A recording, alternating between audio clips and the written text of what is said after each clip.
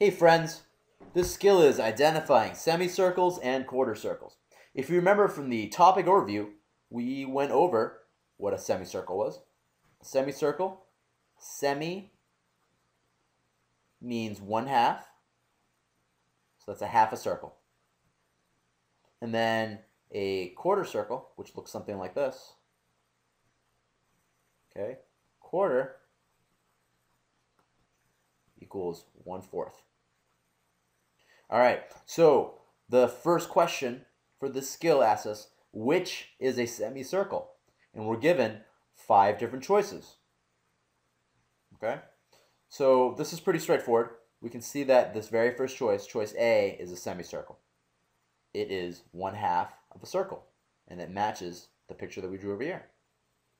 Okay, this, this is a quarter circle, so it can't be right. This is a full circle. That can't be right.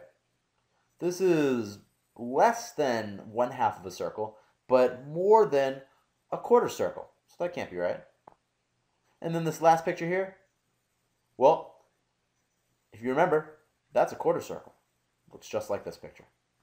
Okay, so choice A is definitely the right answer.